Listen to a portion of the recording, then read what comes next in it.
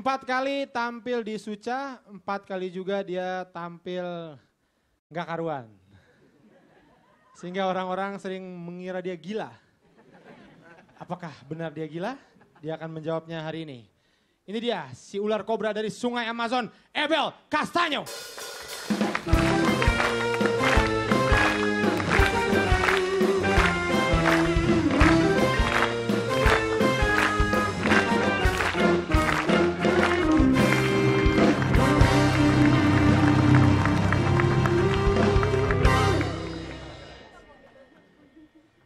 Setiap kekurangan itu, setiap manusia, setiap manusia itu mempunyai kekurangan dan kelebihan teman-teman.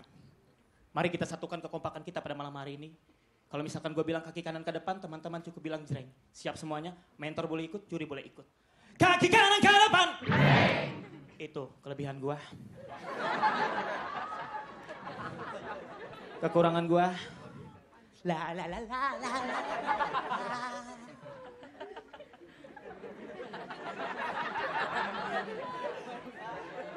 Sudah lima kali gue tampil di sini dan permasalahan gue tetap sama, susah menghafal materi. Berbagai macam cara sudah gue lakukan teman-teman. Dari menulis materi, gue baca, ngeliat video, gue lihat, bolak balik materi, buku gue sobek, gue telan. Tetap susah menghafal materi. Bahkan kemarin ada pelajaran Raditya Dika. Paduka, terima kasih. Gue curhat sama Paduka. Perkenalkan Paduka, saya Ebel dari desa Konoha. Saya pengen curhat pada Paduka. Gimana caranya biar saya bisa menghafal materi? Paduka berpikir, Paduka Radit berpikir. Sambil memegang jenggot, padahal jenggotnya tidak ada. Aha! Akan gua, akan gua datangkan kau psikolog. Psikolog.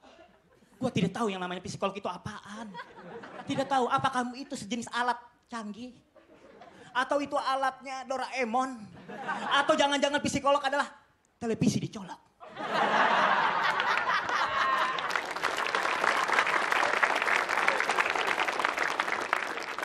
Dan sampai akhirnya gue bertanya sama teman-teman gue karena gue tidak tahu apakah itu psikolog. Ternyata teman-teman gue itu mengasih tahu gue. Psikolog itu buat mengobati orang gila. Di situ gue panik, gue takut ya Allah selama ini gue menjadi kobra. Gue jadi bor jalan. Gue jadi kipas Itu serta merta buat menghibur kalian teman-teman. Bukan berarti gue gila. Cuman permasalahan gue cuma susah menghafal materi.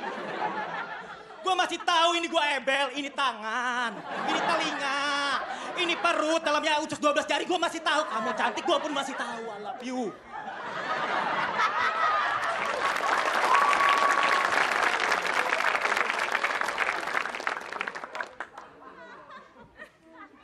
Ya Allah, gue bingung ketika psikolog datang. Bingung gue, gue nanti dia operasi atau gimana sih? Atau nanti mungkin kepala gue akan dibedah, lalu otak gue akan dicabut, diganti sama otak rumah makan Padang. Lu bayangin kepala gue penuh sama gulai kuah. Atau mungkin nanti gue akan disuntik, lalu dikasih cairan super. Nanti gue akan jadi jenius. Setelah selesai suca, gue akan bikin pesawat. Ada badannya, ada sayapnya, ada kepalanya. Cuman kepala kobra. Sampai, sampai akhirnya gue takut banget karena gue takut teman-teman gue takut nanti ketemu psikolog kayak gimana, gue duduknya harus kayak gimana. Psikolog membuat gue gila, oh gila.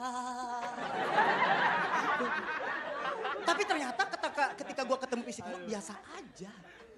Biasa aja, gue cuma ngobrol-ngobrol doang. Ini fotonya. Biasa aja nih, biasa aja. Udah ngobrol-ngobrol biasa aja tuh, udah kayak maling ayam. Nah, maling ayam tangkap polisi. Bedanya gue nggak digebukin aja. Enggak, biasa aja. Biasa aja. Makanya gue mohon maaf sama Paduka Raditya Dika sebelumnya terima kasih telah mendatangkan psikolog kepada saya. Terima kasih sebelumnya. Tapi pertanyaan saya Paduka Radit, berarti selama ini Paduka menganggap saya gila. Kalau saya gila Paduka Radit, saya harusnya dipasung. Kalau saya gila, saya nggak bakalan ngomong sama para para hadirin sini. Pada hadirin sini, kagak mungkin. Saya akan ngomong sama lampu neon. Hai lampu, kau menyinari cahayaku. Kau menyinari cahayaku.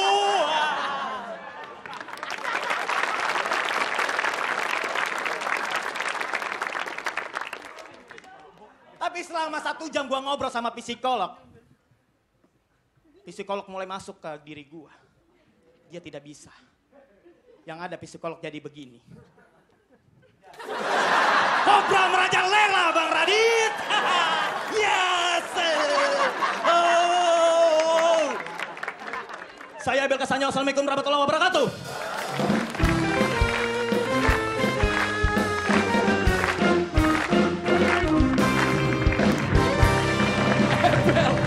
Palangkaraya. Psikolog aja nggak mempan sama dia. Bisa gitu loh. Lampu yang menyinari, menyinari sinarku, salah. Itu Bang maksudnya. Menyinari cahayaku. Menyinari cahayaku. Oh, lampu menyinari cahayaku. Terima kasih Allah. Kan lu gak nyala, yang nyala lampunya. Bukan cahayaku.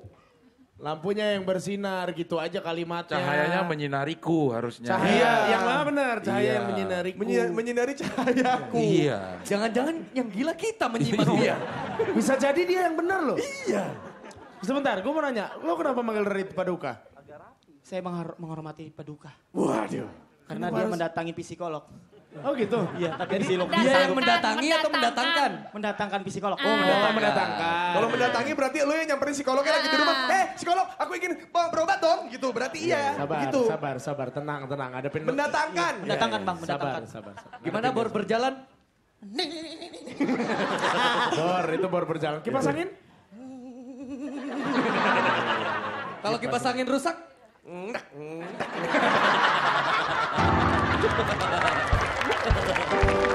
Udah gak sempurna ini. Eh, Kipas angin ganteng?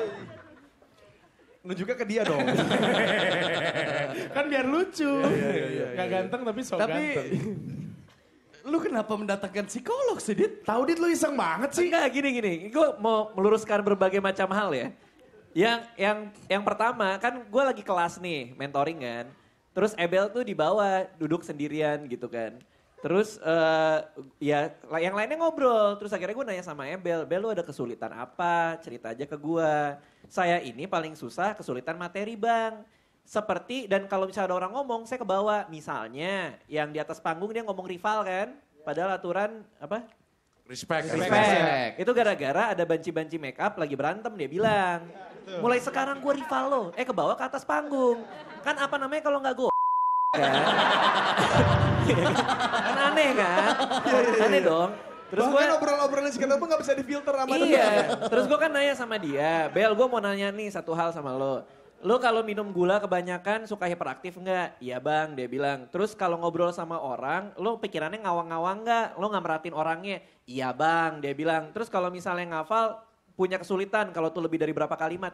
Iya bang. Nah gue curiga dia tuh ADD namanya Attention Disorder Deficit. Dia punya eh, kekurangan dalam hal untuk fokus. Gue punya beberapa temen yang kayak gitu. Makanya gue eh, butuh bantuan profesional. Karena kalau gue eh, ngasih tips, gue nggak ngerti gitu. Nah kemudian gue punya psikolog-psikolog gitu yang bisa bantuin. Gue bilang tolong dong bantuin salah satu peserta yang biasa menangani untuk pendidikan gitu. Jadi bukan nggak ada hubungannya sama gila sama enggak. Tapi gitu. saya takut bang. Iya, karena Ya gak teman-teman usah bentak, gak usah bentak, iya. karena teman-teman takut Paduka itu paduka, Iya. paduka itu. Saya takut paduka. Nah, gitu. Dari negeri mana? Bisa Konoha. Bisa Konoha. Enggak maksudnya ini kan di- ditonton banyak orang ya. Maksudnya supaya orang jangan punya stigma bahwa psikolog adalah sakit jiwa Ah, gitu. bukan. Juga Ya, kasihan profesinya Kalau gitu. buat orang itu kan psiki- psikiater itu ya. Beda lagi sama Iya psikolog bisa ya. juga sih psikiater. Cuman nggak nggak serta merta gangguan kejiwaan gitu. Tapi Nah. tiap kali dia niruin orang gila, kalau saya gila kan saya gini, tapi cocok loh. Anehnya begitu kan. Kalau saya gila saya tuh bakal begini, tapi iya sih gitu. Terus hasilnya apa kata temen lu? Udah kan, eh, gua kan nggak ikutan ya. Ah. Tapi kan gua pantau, gua gua tanya gitu. Tadi pagi ketemu Awe, gue juga tanya gitu. Eh, terus ya, gua nggak tahu gue boleh ngomong apa enggak gitu. Tapi yang jelas ada beberapa problem gitu. Dan udah kasih tips ya kalau nggak salah. Kalau ngafal materi itu harus digambar, Ya, lewat digambar, video. Diliatin orangnya. Iya, jadi emang emang tujuannya supaya dia lebih mudah ngafal karena Iya. kan gue ngomong sama dia, lo kalau kayak gini nggak mungkin juara, kan gue ngomong kayak gitu kan. Iya Bang Radit. Dan Paduka. Iya dan gue kan pengennya dia tetap paling nggak ya sampai final lah gitu. Iya. Walaupun pasti nggak juara juga gitu, cuman ya. Seenggaknya ya. Iya. ya gue minta bantuan gitu supaya dia lebih baik gitu. Jadi kalau perspektif gue sih itu gitu, mudah-mudahan ngebantu lo. Terima Nah, kasih, Paduka. nah apaan sih lu? nah eh, di luar ini semua ya, di luar ini semua, gue merasa baru kelihatan problemnya Ebel. Kalaupun menghafal itu sulit, ya, tapi penulisan menurut gue lebih susah gitu Bel.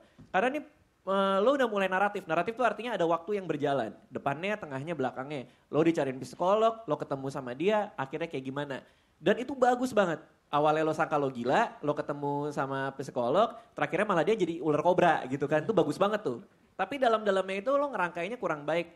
Dan itu menunjukkan kualitas penulisan yang lemah kalau menurut gue. Balik lagi ke ketakutan gue dari minggu sebelumnya. Bel, ketika orang udah capek ngetawain lu, orang akan berpikir kontennya apa. Dan kalau kontennya nggak baik, ketawanya pasti tipis-tipis. Gitu, itu aja ya kalau dari gue. Jadi saran gue adalah perbaiki eh, dengan tips-tips dari dari yang kemarin itu, gimana cara lebih mudah menghafal, dan yang paling penting gimana cara menulis yang baik. Itu aja. Makasih, Makasih ya ya. Oke. Indosiar